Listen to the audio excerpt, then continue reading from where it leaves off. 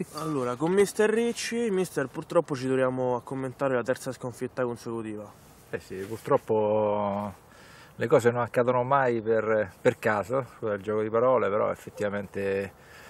abbiamo qualcosa, ci mettiamo qualcosa in meno degli altri. Eh, il gioco c'è, giochiamo, arriviamo avanti alla porta, però poi ecco, punizione, rimpallo, loro fanno gol, punizione, rimpallo, noi la mandiamo fuori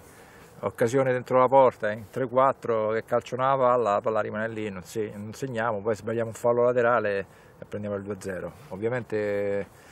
da, dato atto alla squadra avversaria che comunque ci hanno messo qualcosa in più di noi, sicuramente. Non dico come gioco perché comunque abbiamo giocato, la partita è stata anche combattuta, però ecco, nelle occasioni siamo stati proprio assenti, cioè nel senso che abbiamo creato occasioni ma poi sterili perché non, non abbiamo la cattiveria giusta per, per, per mettere la palla dentro, che poi l'obiettivo del gioco è questo, se non c'è quella cattiveria in più eh, e ce l'ha l'avversario, prima o poi il gol lo prendi e quindi ecco quello che abbiamo pagato. Questa è un po' l'analisi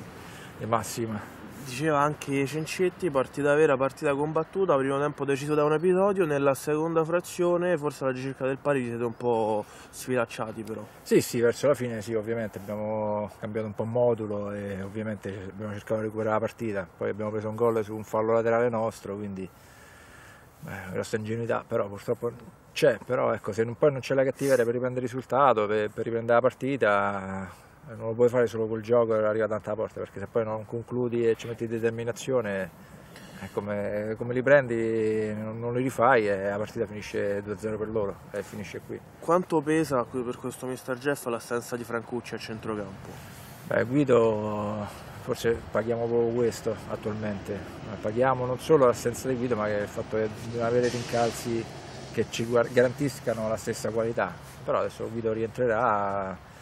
spero già la, dalla prossima settimana e ci prenderemo la rivincita in Coppa Italia con, eh, con l'Eurobet. Perfetto, in chiusura la prossima partita contro la selezione romana, squadra molto giovane, molto atletica, il tipo di squadra che forse il mister Jeff ha dimostrato di soffrire un pochino.